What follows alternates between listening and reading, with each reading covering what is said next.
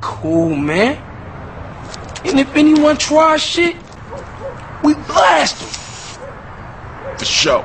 Man, Grove Street ain't even no real gang no more, homie. They perpetrators. Now they even know. Shit changes. And this shit changes everybody, man. Even OGs want a slice of this. And loyal customers.